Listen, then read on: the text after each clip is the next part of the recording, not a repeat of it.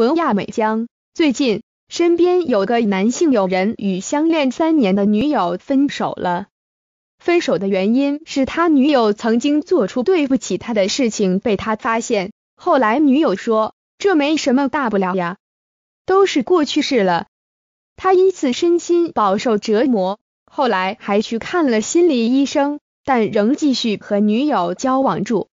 可想而知。他身心状况一天比一天还糟，最后居然有了轻生的念头。但情绪这种事情很难说。突然有一天，他决定跟女友分手。虽然女友极力想挽回恋情，但一切都来不及了。选择包容，却闷出心病。他说，发生那件事后，女友根本不管他内心的想法。虽然当下他选择接受事实。但内心的冲击影响还是很大，也告诉过女友对这件事的感受，但女友却跟他说：“我没办法帮你，你若要继续让我的事情来影响你情绪的话，我真的不知道该怎么做才能让你好一点。”也许就是因为女友这样消极又不愿意起面对的态度，让他愈来愈痛苦。于是，在快要濒临崩溃的状态下，他选择再次提出分手。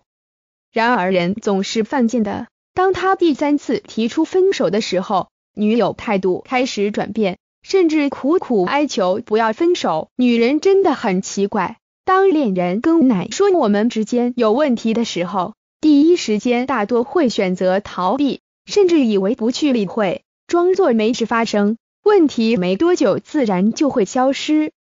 非要恋人真正下了决心，做了决定后，才放低姿态。苦苦哀求，却不去思考一下，这样的感情状况，就算继续在一起，也只是互相伤害、折磨，不可能会有奇迹发生。伤太大，对爱有了恐惧。你们在一起时都聊些什么？我问。他都在说自己的事情，一直说个不停。他回。都没问你的事情。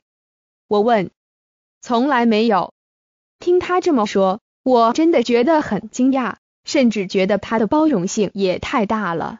后来发生了女友劈腿事件，他选择包容，而他居然也没有因此觉得自己该做些改变。我相信，若为了爱情，两人都愿意再次努力看看，最后一定会得到幸福。因为说好了一起努力，因此会更加珍惜在一起的时间。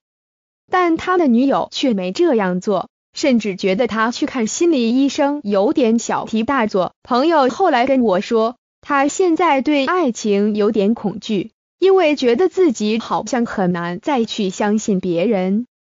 这段感情让他受伤很重，但他自己也明白，必须要先放下先前的不好爱情经验，重拾信任，才能从恋情中得到幸福。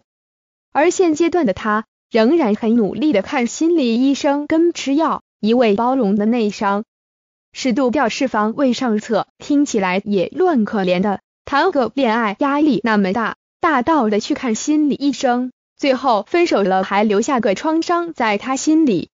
哎，话说回来，认真觉得很多时候我们无论在生活、工作、爱情的哪个状况内，自己三不五时要懂得调试自己的心情。没有人会知道，在下一秒会不会就这样在内心里出现一道新伤疤。预防胜于治疗。虽然爱情偶尔要互相容忍，但如果已经到了无法容忍的阶段，也请勇敢大声说出来反抗。憋到最后受伤的永远都是自己，千万别有其他傻想法，以为自己无限包容才是爱对方的表现，绝对不是。图乔安娜。